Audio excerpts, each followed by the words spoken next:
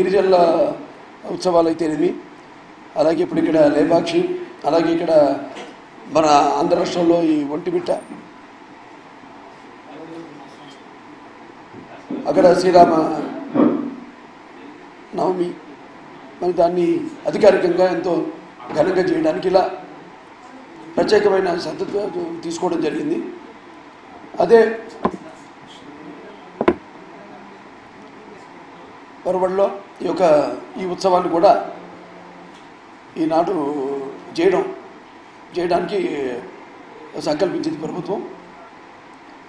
మనం అందరూ తెలిసిందే ఈ యొక్క లేపాక్షి యొక్క ప్రాశస్తం ఏమిటో.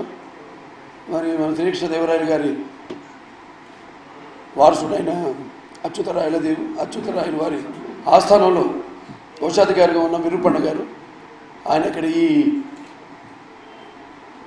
వీరభద్రేశ్వర శ్రీ వీరభద్రేశ్వర మరియు శ్రీ పాపనాశేశ్వర స్వామి ఆలయం నిర్మించడం జరిగింది. మరి